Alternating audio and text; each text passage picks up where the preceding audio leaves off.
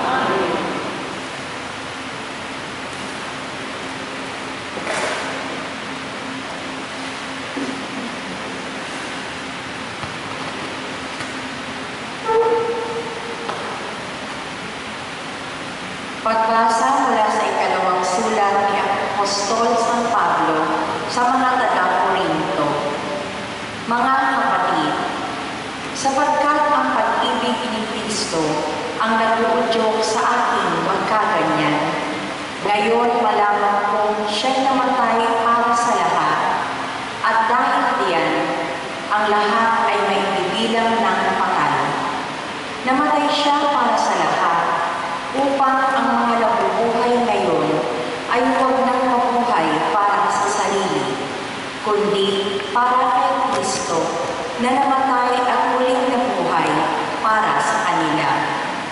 Kaya ngayon, ang pagtingin namin kaniluman ay hindi na batay sa supatan ng tao. Noong unay, gayon ang aming pagkakilala kay Kristo. Ngunit ngayon, hindi na. Kaya ang sino mang nakipagkaisa kay Kristo ay isa ng bagong nilalang. Wala na ang dating pagkatao. Siya'y bago na. Ang Diyos ang gumawa ng lahat ng ito. Sa pamamagitan ni Kristo, ibinilang niya akong kaibigan, di na kaaway, at hinirang niya ako upang panumbalikin sa Kanya ang mga tao. Ang ibig kong sabihin, ang tao'y Diyos na Kanyang kaibigan sa pamamagitan ni Kristo at nililimunon na niya ang kanilang mga kasalanan. At ipinagkakatiwala niya sa akin ang balitang ito. Kaya ako'y sugo ni Kristo para ang Diyos na rin ang namamanhid sa inyo sa pamamagitan ko. Makipagkasundo kayo sa Diyos. Hindi nagkasala si Kristo, ngunit dahil sa atin, siya'y ipinilang na makasalanan upang makipag-isa tayo sa Kanya at mapabanal sa harapan ng Diyos sa pamamagitan niya. Ang salita ng Diyos. Ang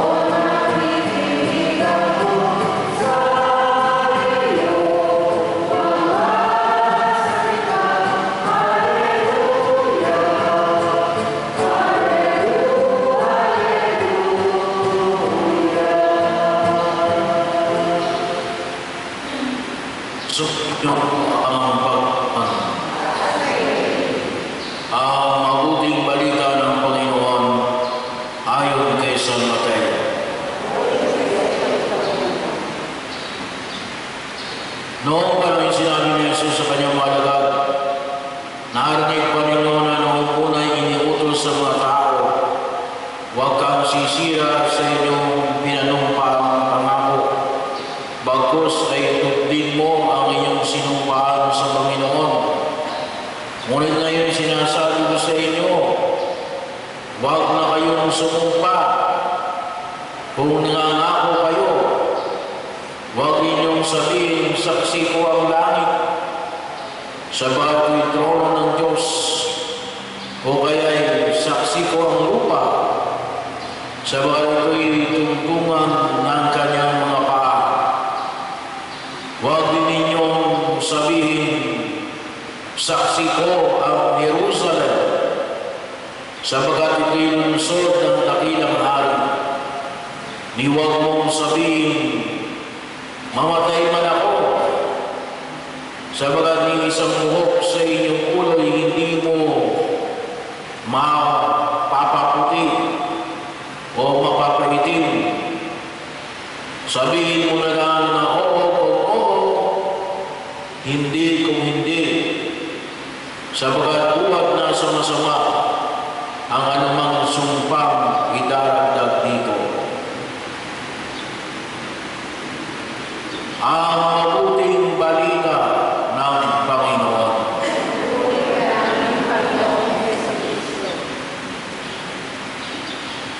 Sumayo ang Panginoon.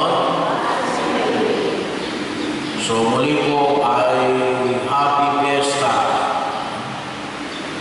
sa karangalan ng mahal na Berhen ang kanisinisang puso ni Maria. Kahapon, pinag-iwag natin ang kamahal-mahalang puso ni Jesus.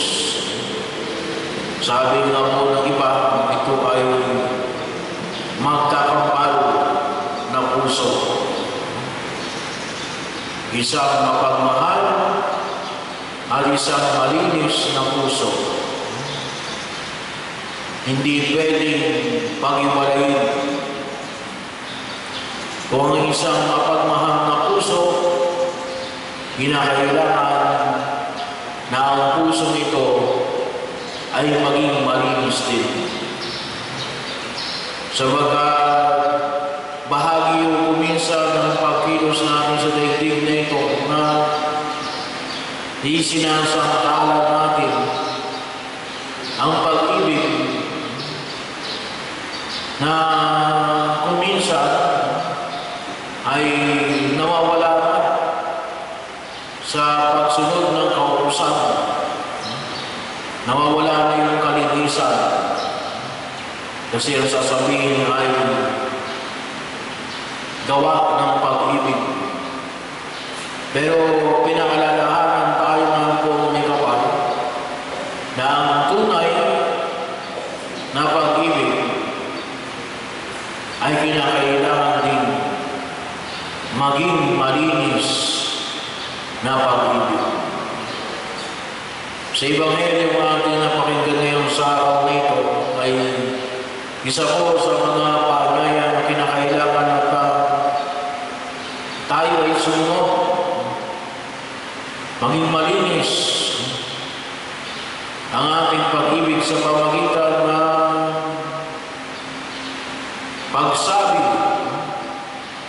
kung oo, oo, hindi kung hindi. Yung paanyaya na ipinahayag sa atin ng Panginoon sa ngayon kay San Mateo na ano, hindi lamang yung sumunod kayo sa inyong sinumpaan, ngunit kung maaari, ayon yung paanyaya na ipinabanggit dito, huwag na kayong sumpa kung nangangako kayo. Ibig sabihin ay huwag yun ang gamitin yung mga bagay na ipinamanik sa atin sa Ebanghelyo. Katulad ng saksi ko ang langit, saksi ko ang lupa, mamatay man ako, bahagi yun ako minsan ay may mga pagkataon na uh, pinakailangan natin na bigyan ng higit ng pag-alam. Ang sabi dito?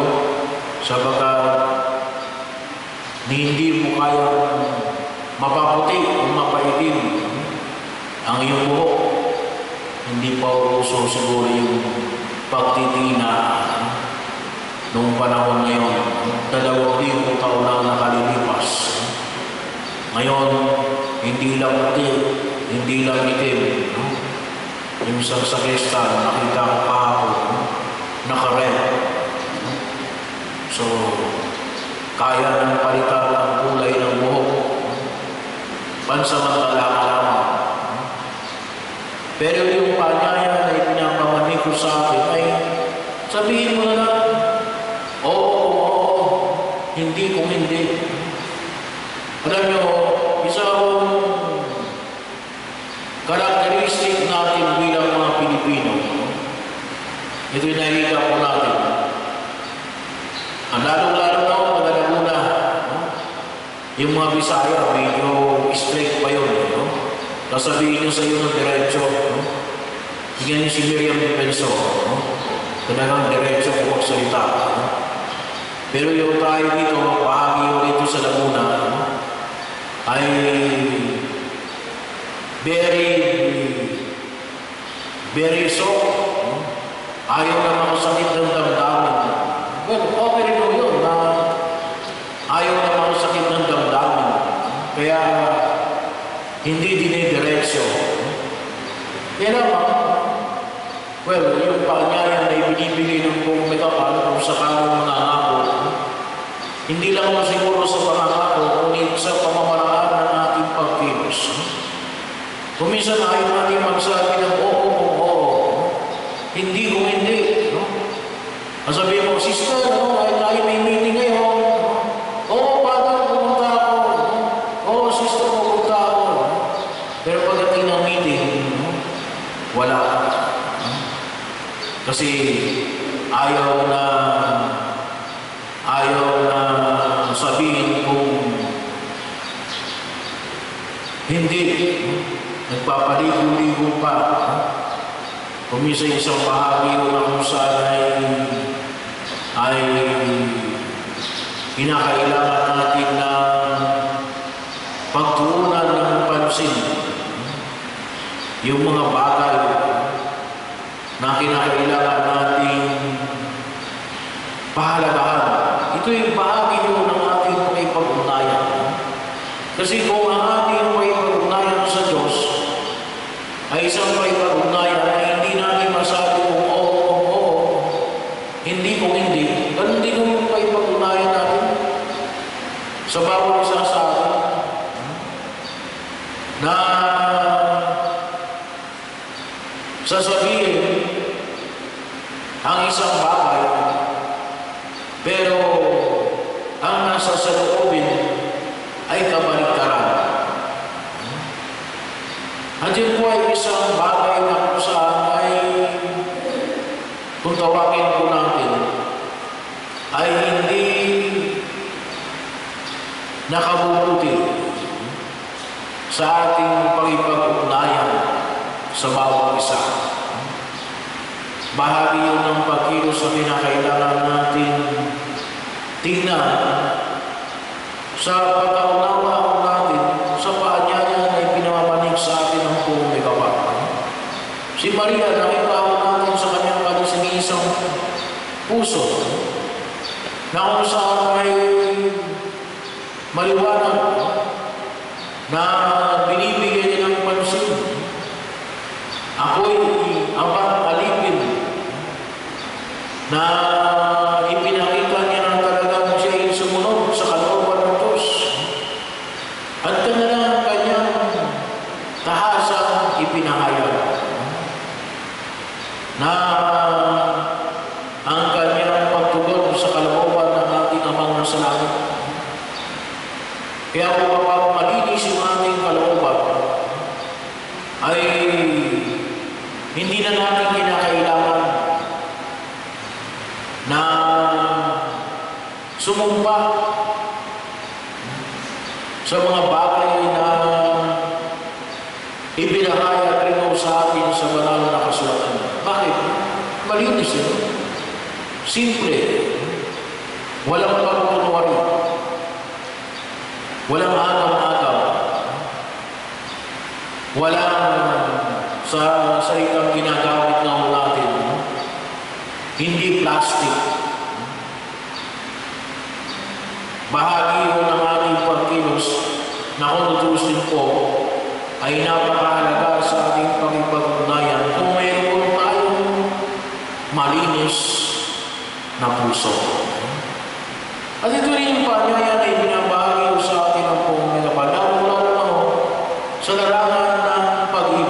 Kasi kung minsan ay, ay inaakala natin na gawa ng pag-ibig ay yung ibang mga dapat na isa katuparan ay pwede ng isang gabi. Hindi ho. Kinakailangan na ang uri ng pag-ibig natin ay maging malinis. Walang valid dulis. Sabagat bahagi rin ho na ibinibigay ng buong may kapal na patuloy natin tulungan ang ating sarili na manatiling malinis. Bakit? Nandiyan na nga ho yung kahalagahan ng sakramento ng umpisa. Bahagi ho na kung saan kung sakali man nagkasala, ay pwede natin linisin. Pero yung mentalidad na makita ko natin, yung pamamaraan ng pagkilos, na kung ito ay kinakailangan natin isaalang-alang, na masabi na na talagang ako'y nagmamahal. Ano talaga ako'y nagmamahal? Kinakailangan din yung pagmamahal na ito ay maging malinis. Kasi hindi mo pwede na na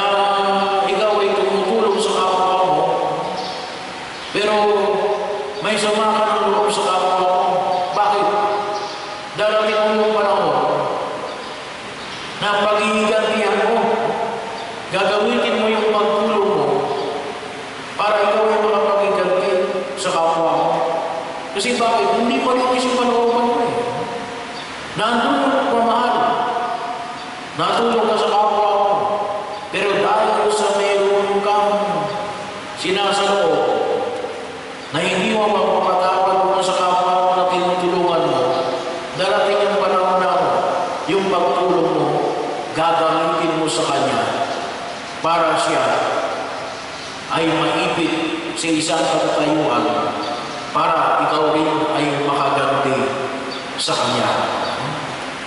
So, mabuti na ikaw ay tumutulong sa kapwa mo. Pero mas mabuti kung ikaw ay tumutulong sa kapwa mo na wala ka ng sama ng loob. Kasi sabi nga natin, it will purify your intention.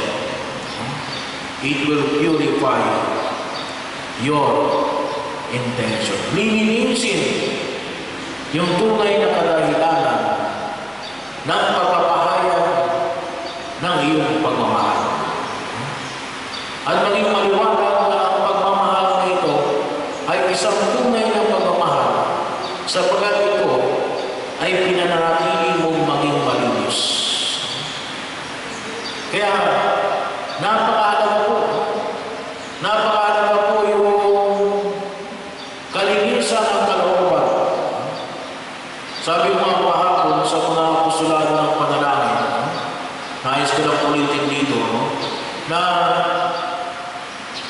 para matanggap ninyo yung indulhensya, isa sa mga requirements nito ay kayo ay nakapag-umpisan. So, pwede silang mag-renew. Pero hindi nila makatanggap yung indulhensya. Bakit? Hindi sila nakapag-umpisan. Hindi nila nilipin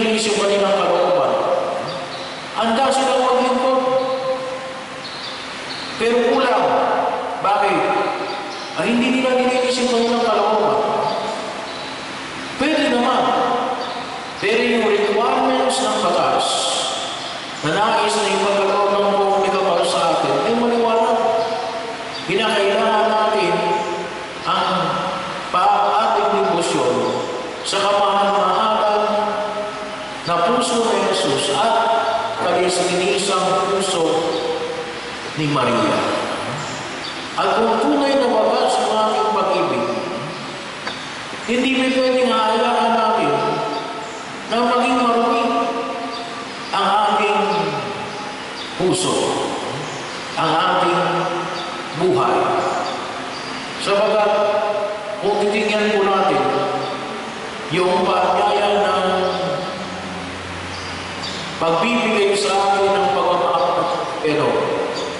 para tayo ay maging kalugod sa kanyang kaharian sa langit.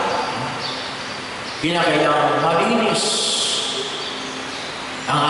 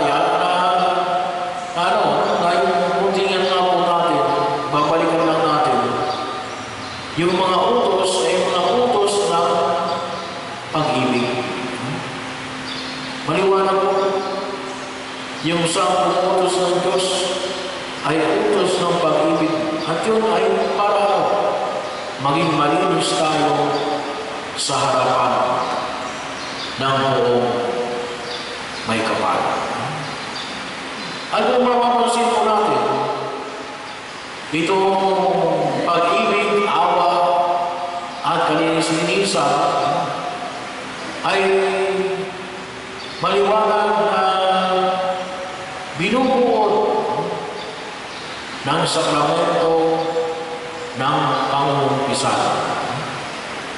Kaya, na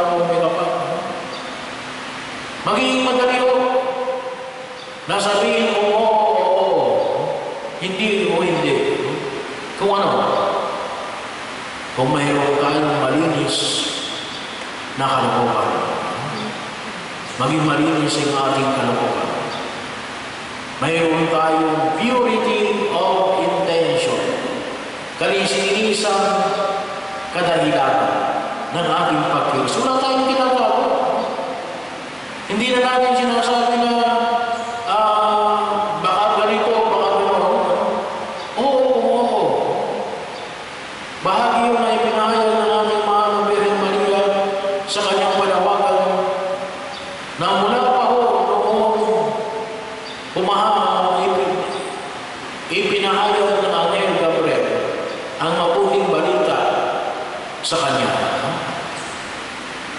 Ako'y alipin ng Panginoon, mangyari naman sa akin ang iyong sinabi. Hindi niya sinabi na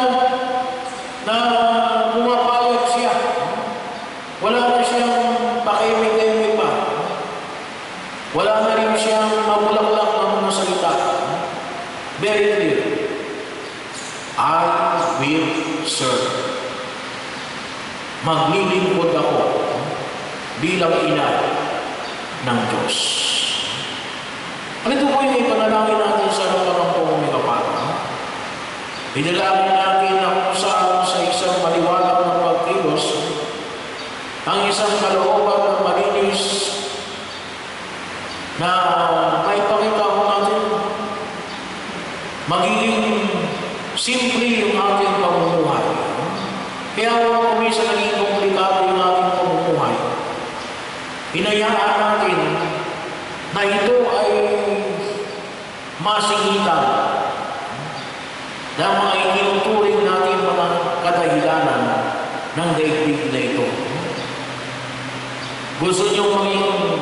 Simple yung pamumuhay natin. Tularan natin ang puso ng mahal na Birhen Maria, ang kanyang kalisinisang puso.